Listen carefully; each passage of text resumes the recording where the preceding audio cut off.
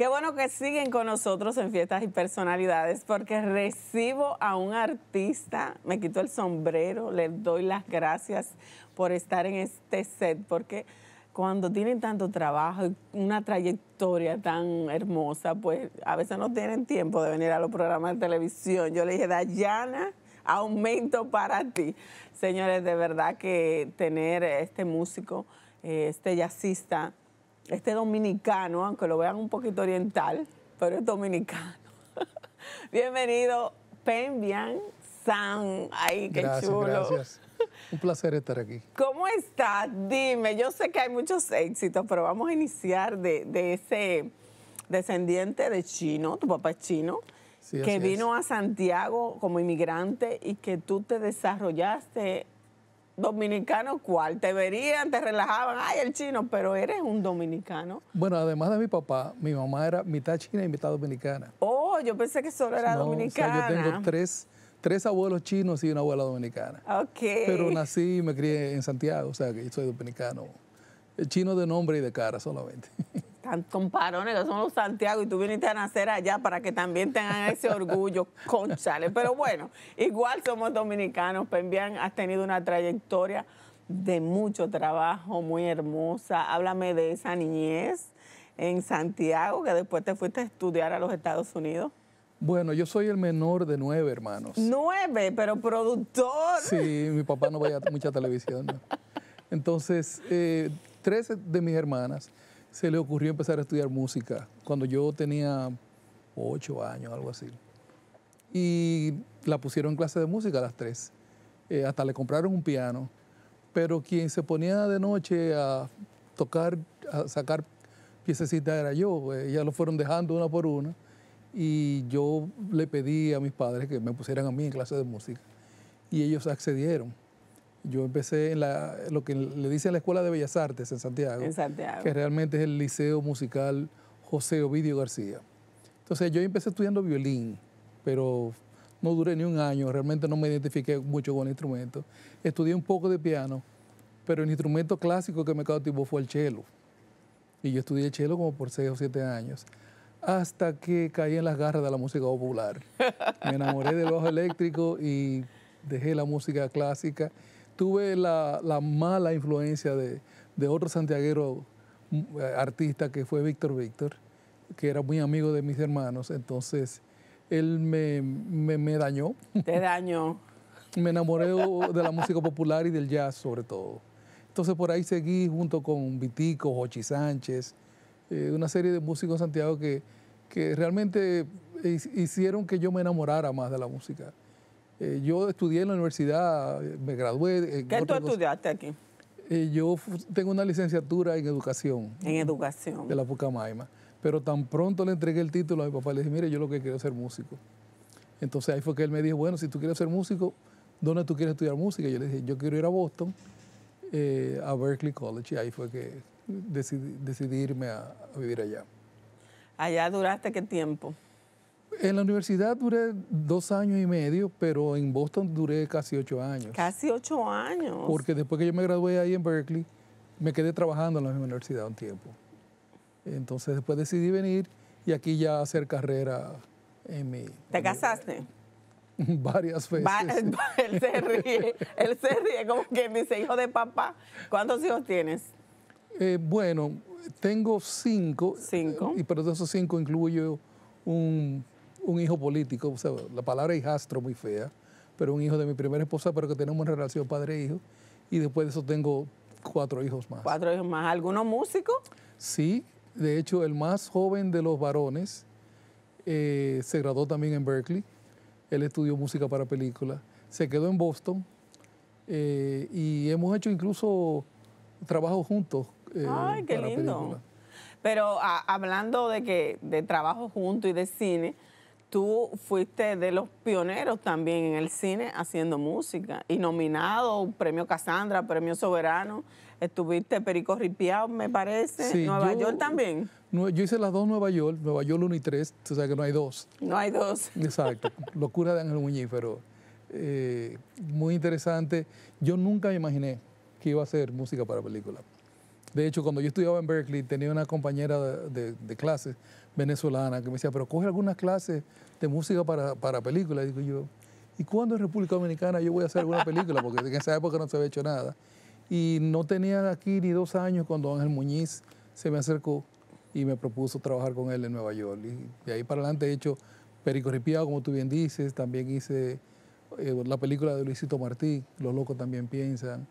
Y ahora recientemente con mi hijo hicimos hace un año o año y medio eh, el documental Isla de dos Repúblicas.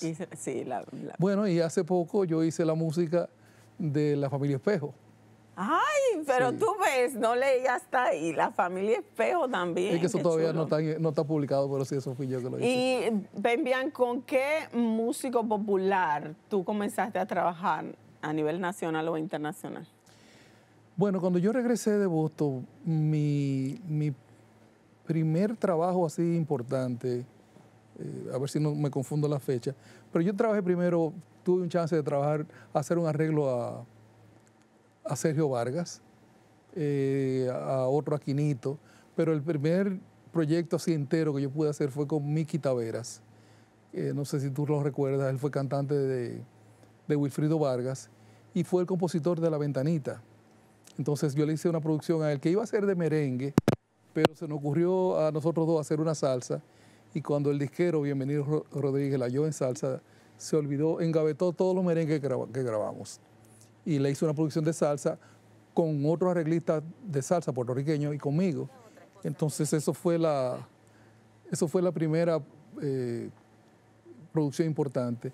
Después de eso está la producción de Félix de Óleo. Me encanta. Que fue como la primera que me puso en el, panorama aquí, porque mi Tavera se pegó por en Colombia y en, y en Panamá, en Sudamérica. Pero aquí la primera producción que yo hice que que me dio a conocer fue la de Félix de Olio. Pues bien, cuando un artista se acerca a ti, te deja crear solo, te dice, mira, yo tengo esta idea, porque poner el sello de Pembian San en cualquier disco, en cualquier producción, ya es garantía de éxito. Eh, bueno, depende del artista. Depende del eh, artista. Yo trabajo mucho con, somos socios en, producción y eso, con Frank Seara. Y Frank me da mucha libertad, pero al mismo tiempo me da muchas pautas. Eh, o sea, él, compone la canción y me dice, mira, yo la siento con este ritmo, siento que debe empezar tal y tal instrumento. Y ya de ahí yo tomo y dejo. Si, si es diferente a lo que él tenía en mente eh, y a él le gusta, pues lo dejamos así, si no, vamos negociando. Hay otros artistas que, que yo hice lo que yo, lo que yo eh, pensaba que debía hacer. En el caso de Félix de Olio, él, me, él me, dio las canciones, yo las escogí y de ahí para adelante yo hice lo que yo sentía que la canción eh, pedía. De la nueva generación, ¿con quién, con, aparte de tu hijo, que es un músico también, con quién has trabajado, de, que te ha alado, que te ha dicho, maestro, venga, que con usted que quiero trabajar? Bueno, lo que pasa es que yo, por ejemplo, en el grupo que tengo en, en Retro Jazz, eh, he tenido la oportunidad ahora de trabajar con jóvenes que no son cantantes, son músicos. Y eso ha sido una experiencia muy interesante porque son estudiantes, son jóvenes que han sido estudiantes míos en la UNFU, donde yo doy clases también. Pembian, en, en, Premio Soberano, ¿tú ganaste producción de jazz o producción clásica? Pues, no, producción del año. Producción del año. Eh, que fue, creo, creo que fue la primera vez que una producción de jazz ganó como producción del año, que fue el primer disco de, de Jazzeando el Cancionero Dominicano. ¿Eso fue qué año? Uf, Hace como 10 años ya. Hace como 10 años. Bueno, nosotros vamos a ir a una pausa porque cuando regresemos sí vamos a hablar de retro jazz del 2011 para acá, de dos exitosos conciertos que acaba de tener Pembian y su grupo y todo lo que es ese aporte que le ha hecho a la música desde que él dijo, yo voy a ser músico.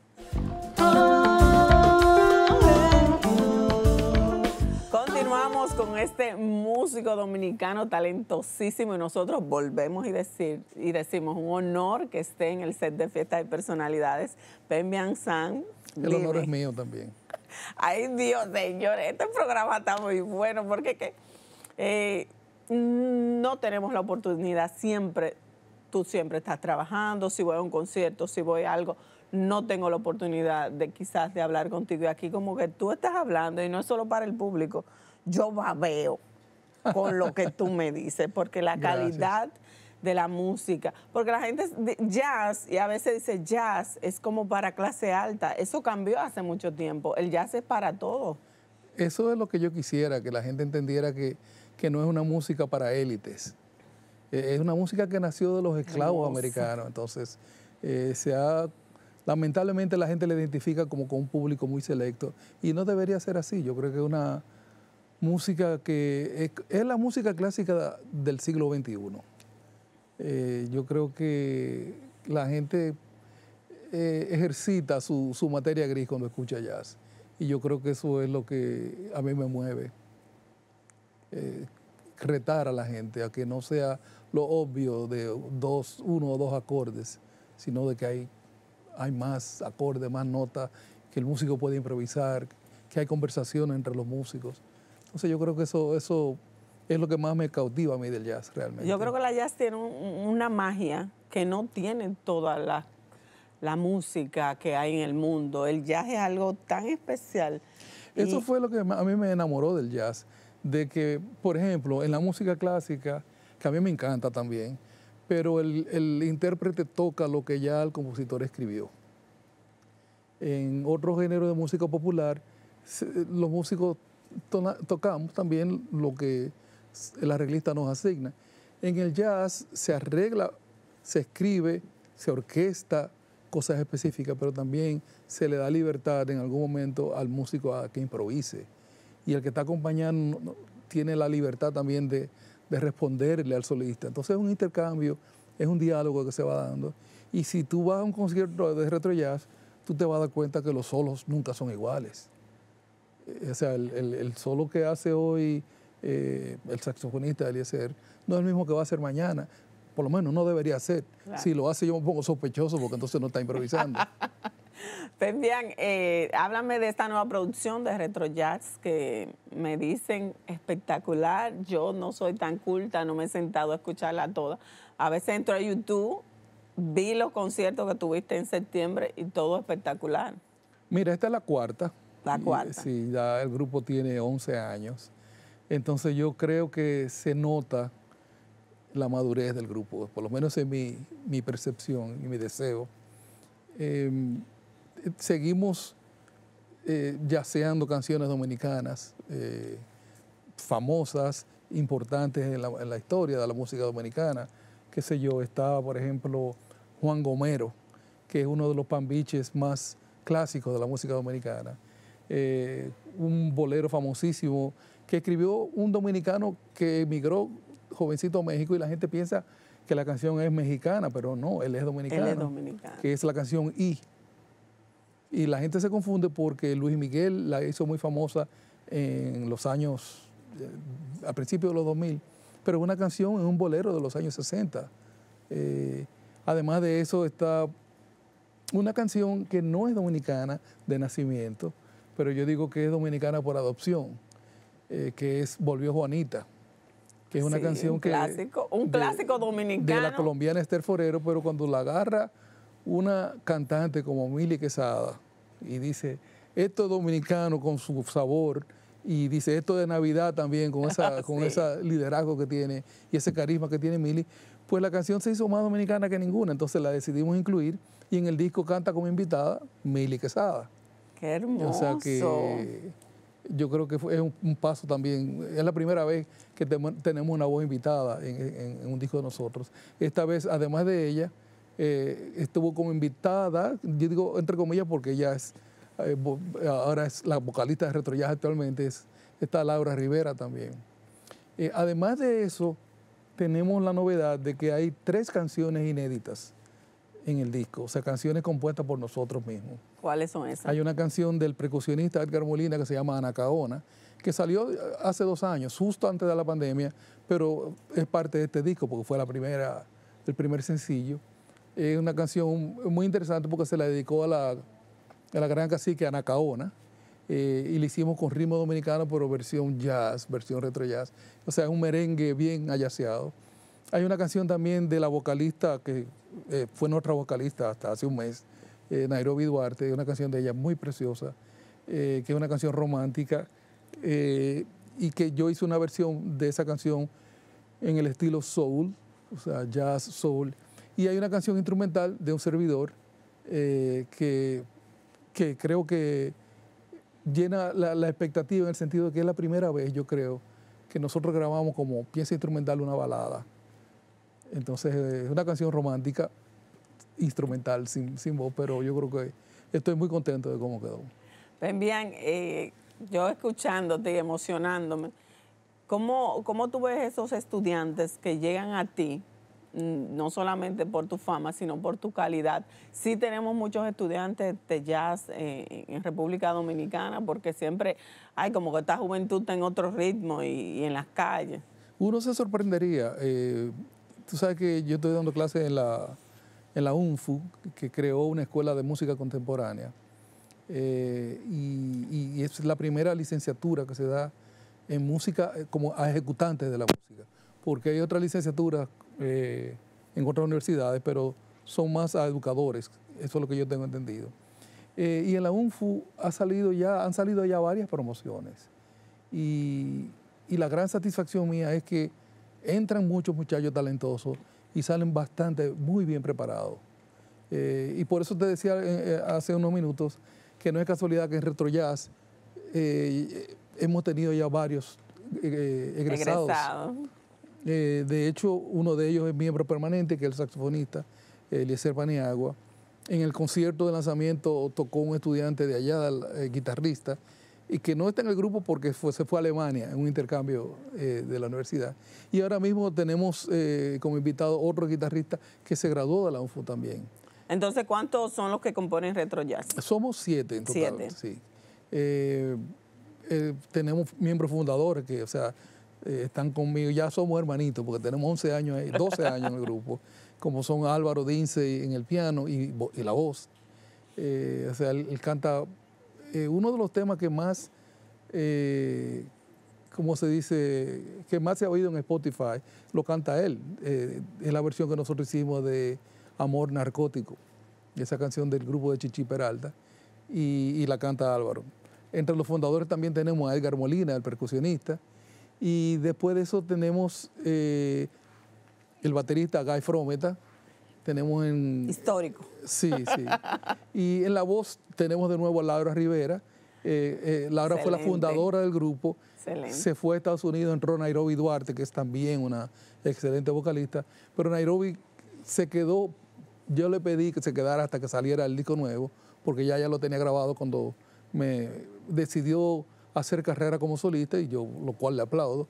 Entonces, eh, por suerte, ella misma me sugirió, pero habla con Laura, a ver si Laura quiere volver al grupo, y felizmente Laura aceptó gustosa volver al grupo. ¿Cuándo los volvemos a ver en escena? Bueno, el día 30 de noviembre, que, o sea, dentro de un mes justamente, vamos a estar en el Festival de Jazz de La Loma. Jazz en la Loma se llama. Ay, sí, yo nunca he ido, solamente oigo. Sí, creo que este se ha hecho ya por muchos años. Sí. Es uno de los festivales más importantes. Eh, para este festival, no tengo la cartelera memorizada, pero siempre traen un par de artistas internacionales muy, eh, muy importantes en el y vamos a estar nosotros también. Dayana, llévame, mi productora es la que más conciertos va, se va sola, no me lleva, pero yo espero que este año sí pueda yo lograrlo Pembian San en Fiestas y Personalidades. Gracias. No, gracias a ti de nuevo. Gracias por, estar aquí, de verdad que sí, que muchos músicos se motiven a seguir tu estilo, a seguir esa promoción del arte y la cultura, de la música y de la República Dominicana. Bueno, casi Un placer. Nosotros seguimos con mucho más.